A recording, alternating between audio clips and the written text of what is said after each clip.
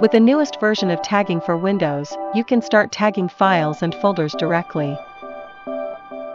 After selecting a file, add or select the first tag using the button in the tag pane.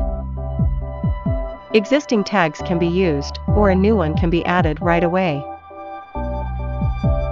The new tag is added to the special base tag group.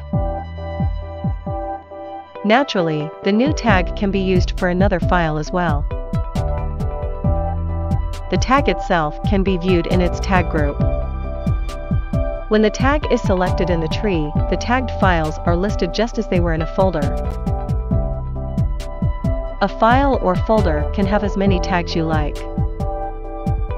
Just add or select another tag using the button or using the shortcut, Ctrl plus.